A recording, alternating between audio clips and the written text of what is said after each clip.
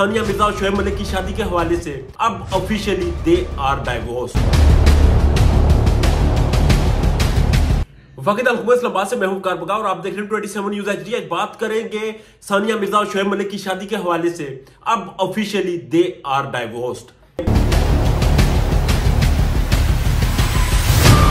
ये चीज़ सामने आ चुकी है। ऑफिशियली उनकी तलाक हो चुकी है। ये चीज़ वाजे हो चुकी है, इस चीज़ की तस्दीक हो चुकी है। शोएब मलक के साथ मौजूद उनकी टीम के एक सीनियर मेंबर ने, जो उनके सारे मामला मैनेज करते हैं, उन्होंने ये चीज़ की इसकी तस्दीक कर दी है कि जी हाँ इनकी डाइवोर्स हो चुकी है, अब वो सेपरेट हो चुके हैं।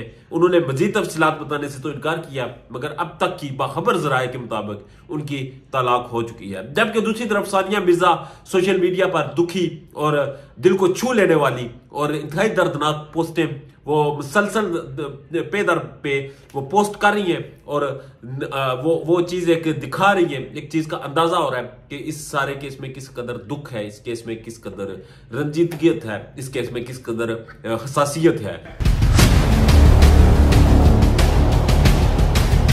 मगर इसके पीछे फिर एक चीज़ आती है, कि इसके पीछे वजह क्या थी? इसके पीछे वजह, आज आखिरी आखिरी जो इस केस में अब सेपरेशन के चुके मामला वाजे होना शुरू हो चुके हैं। तो एक चीज़ आपको बताएँ कि इस केस में वजह सिर्फ़ अना थी इस केस में वजह सिर्फ़ जाती जाती जो एक पर्सनल सेटिस्फेक्शन थी और एक तस्कीन थी अना की तस्कीन थी और ईगो थी और इसके अलावा कोई और चीज़ नहीं थी। जबकि दूसरी तरफ़ हमने ये भी देखा आइडियल शादी को नाकाम होते हुए और एक आइडियल शादी जो गुजशत बहुत हफ्तों से इस मामे का शिकार थी कि क्या वो इकट्ठे हैं या नहीं?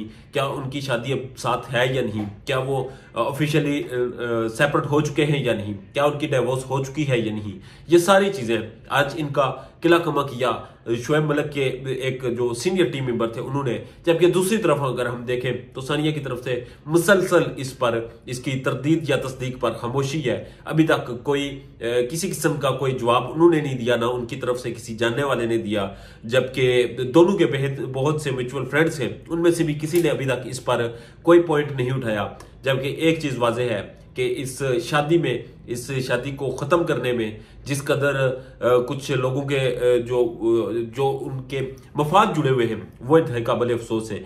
क्योंकि कुछ लोग ये ज़ाती तौर पर समझते थे कि इंडिया और पाकिस्तान के दरमियान कोई ताल्लुक नहीं होना चाहिए, कोई रिश्ता नहीं होना चाहिए। और आज ऑफिशियली उन्हें मुबारक हो कि उनकी ख्वाहिशों ने अमली जमा पहन लिया और एक हंसता बस्ता एक एक इंतहाई खूबसूरत कपल जो है, वो आज अलग हो गया और उनकी एक दुखी और दर्द भरी कहानी जो है, वो आपके सामने है। अब देखना यह है कि मजीद चीज़ें किस तरफ़ जाती हैं। क्योंकि अभी तक दोनों कपल्स ने जाती तौर पे अपने किसी ऑफिशियल ट्विटर अकाउंट से ऑफिशियल किसी अकाउंट से अभी तक इन खबरों की तस्दीक नहीं की, न तरदीद की है। तो एक चीज़ तो वाजे है, एक चीज़ का तो वाजे गुमान होता है कि अभी हालात बाकी हैं, अभी कुछ चीज़ें बाकी हैं, अभी देखना बाकी है कि मजीद हालात किस तरफ़ जाते हैं, चीज़ें किस तरफ़ जाती हैं और मजीद मामला कहाँ पर पहुँचते हैं।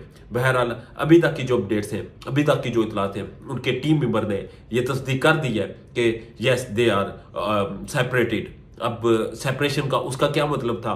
क्या उसका मतलब भी डाइवोर्स का था? क्या उसका मतलब भी ये था कि इनका अलीहदगी हो चुकी है? या उसका मतलब यही था कि वो नाराज़ हैं और कुछ अरसे बाद राज़ी हो जाएँगे? हमने ये भी देखा कि बॉलीवुड में और दिगर जितनी भी एक नई क्लास है, नई जनरेशन है, उनमें ये चीज़ कॉमन है कि सेपरेशन लिविंग रिलेशनशिप ये चीज़ें मगर अब देखना ये है कि क्या ये भी एक एक नई जनरेशन का फ़ैशन है या फिर शुएब मलक और सानिया मिर्ज़ा जो कि एक मेच्योर कपल है, वो इस चीज़ से निकलेंगे और या तो ऑफिशियली डाइवोर्स करेंगे या फिर वापस एक साथ हो जाएँगे। जो सेपरेशन और दिगर जो मामला हैं, इसमें न पढ़कर मजीद अपने लिए और मजीद अपने चाहने वालों के लिए कन्फ्यूज़न का शिकार नहीं होंगे। अपना डेर ज़्यादा ख्याल रखिएगा और हमारे चैनल का भी। हमारे चैनल को सब्सक्राइब कर लीजिएगा ताकि इस तरह की मजीद वीडियोस आप तक बर वक्त पहुँचती रहें और आप उनसे आगाह रहें। अपना डेर ज़्यादा ख्याल रखें। जजाकल्ला